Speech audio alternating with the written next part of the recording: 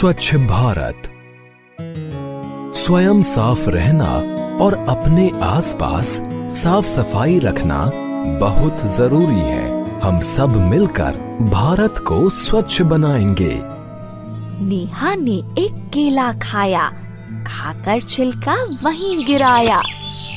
तभी वहाँ एक चिड़िया आई। सिर पकड़कर वह झल्लाई। अपनी चोंच खोल चिड़िया ने उस छिलके को तुरंत उठाया। छिलका कूड़ेदान में डाला, प्यार से नेहा को समझाया। बोली, चिड़िया, ठीक नहीं है सड़क पर यूँ कूड़ा फैलाना।